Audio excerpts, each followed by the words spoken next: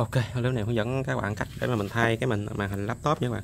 Thật sự là mình cách mình thay màn hình laptop nó rất là đơn giản các bạn. Thậm chí nó đơn giản hơn là các bạn thay gam đó các bạn. Tại vì nhiều cái máy các bạn thay gam các bạn phải gỡ toàn bộ cái nắp nhựa sau ra, gỡ phím ra mới thay được. Còn màn hình mình là nó rất là dễ thay các bạn. Màn hình nó chỉ có hai loại thôi, một loại dày và một loại mỏng. Còn hai cái loại socket thì ờ, đa số các cái máy mà i5 mà thế hệ ờ, khoảng tầm thế hệ 6 về sau á thì năm về sau thì nó đều dùng cái màn hình 40 pin hết các bạn. Hiếm lắm mấy lò được một con hơn màn hình 30 pin. Thì 30 pin là cái gì thì mình nói luôn cho các bạn nè. Đây, các bạn thấy cái cái cái giác cắm nè. Đây là cái màn hình 40 pin các bạn. Thì 40 pin là sao? Thì tất nhiên là nó 40 chân các bạn. Thì các bạn các bạn đếm nè. Các bạn thấy cái chân nhỏ nhỏ đây không? Thì các bạn đâu không cần đếm hết nha các bạn. Thì các bạn cần, chỉ cần đếm một khoảng 10 chân thôi. 10 chân, ví dụ mình nói 10 chân, các bạn đếm tới đây đi. Thì các bạn thấy là các bạn hình dung được là bên này còn 3 phần nữa thì nó 40 pin còn cái màn hình 30 pin nó rất là nhỏ các bạn. Nhìn nói chung mình nhìn biết liền à. Thì nếu mà mình đo mình dùng thước mình đo thì từ đây nè qua tới đây là cái màn hình 40 pin nó vào khoảng tầm 2.5 cm còn màn hình à, 30 pin thì nó chỉ vào khoảng tầm à, 1.9 cm thôi. Nói chung các bạn không có nhầm được nha. Nhưng các bạn xào lộn các bạn cứ à, mình cứ đếm chân thôi. Mình đếm phân nửa là mình biết rồi. Đấy còn cái màn hình á, màn hình thì nó có một cái độ cái quan trọng là cái độ phân giải nhưng mà cũng không quan trọng lắm đâu các bạn tại vì nếu mà các bạn cắm thì tốt, mình khuyên các bạn là tốt nhất là nên mua cái chung độ giải.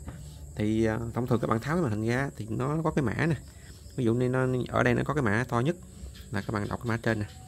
HP14 WX1 300 đấy, thì ờ, HP14 thì nó là 14 inch các bạn. Thì các bạn cứ nhập nỉ mã lên Google thì nó sẽ ra cái màn hình này thôi các bạn và gần như là tất cả các cái máy laptop á, cái màn hình của nó là đều xài chung được nha các bạn thì đây là cái màn này mình chứng minh điều đó cho bạn xem. Thì hiện tại thì mình không có màn Full HD các bạn.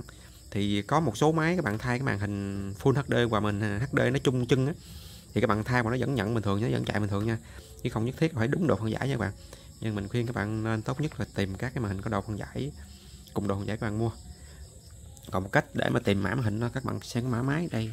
Mặt trước hoặc mặt sau nó cũng đều có mã máy nha các bạn. Ví dụ như đây là Asus K450L thì các bạn cứ nhập tên là màn hình laptop Asus K450L thì nó sẽ lên. Còn về thay màn hình thì rất là đơn giản các bạn. Đây, đây cái các bạn thấy là cái cái màn này là màn của nó nè. Đây.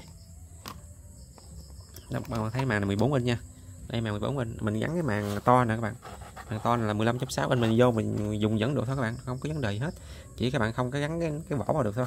Tại vì đơn giản là cái cái chân này nè nó giống nhau. Các bạn gắn vào nó sẽ nhận thôi. Thì tất cả các laptop nó đều xài chuẩn chung hết nói chung các bạn cắm được là sẽ dùng được. Một dùng được hai là không dùng được chứ không bao giờ có chuyện nó hư nha. Đó, vì khi trước khi thay các bạn đè nút nguồn khoảng tầm à, khoảng tầm 10 giây nha các bạn cho nó tắt nguồn hoặc toàn bộ của pin ra các bạn làm thôi. Rất là đơn giản luôn nó không có gì khó khăn hết các bạn. Cho nên thay màn hình rất là đơn giản luôn. Bây giờ mình sẽ gỡ cái màn hình to ra mình gắn cái màn hình à, ở nhanh còn một cái vấn đề nữa. Là màn hình thì nó cũng có hai cái loại là loại mỏng và loại dày. Cái loại à, mỏng á, thì nó sẽ bắt cái cái ốc nó bắt ở trên cái viền hình này còn cái loại dày các bạn, thì nó sẽ bắt ở trong cái cái diện màn hình này. Thì mình sẽ lục cái màn hình dày mình cho các bạn xem. Đây là cái màn hình dày đó các bạn. Thì màn hình dày màn hình mỏng các bạn xài vẫn được nha, nhưng các bạn lắp vào máy không được thôi, nó không có được. Các bạn thấy ốc nó sẽ bắt bên hông như thế này nha. Đây này khó khó lấy các bạn đấy, ốc nó bắt bên hông như thế này. Thì nó là màn hình dày nha các bạn. Còn à, ốc mà người ta bắt cái tên viền như thế này nè, thì nó là màn hình mỏng nha các bạn. Các bạn lưu ý nha bây giờ mình sẽ tháo mình gắn cái màn hình nhỏ vào cho các bạn xem. Để chứng minh được cái màn hình to, nhỏ đó, nó là không thành vấn đề nha. Chỉ có cái mà mình không gắn vào được thôi. Mà thấy mình không gắn vào được nha. Thì để thay màn hình tất nhiên các bạn tháo ra. Tháo ra nó có, sẽ có hai ốc đây. Cái này là cái à, bản lời mặt A, nó mặt B đó các bạn. Đấy, nó có hai ốc ở đây. Thì các bạn chỉ cần tháo ra thôi. Thì các bạn gỉ nó sẽ ra thôi. Rất là đơn giản, các bạn cài từ từ nó sẽ ra. Đấy, bây giờ mình à, trước khi thay màn, các bạn à, đè nó nguồn nè. Đè khoảng tầm 10 giây nha các bạn.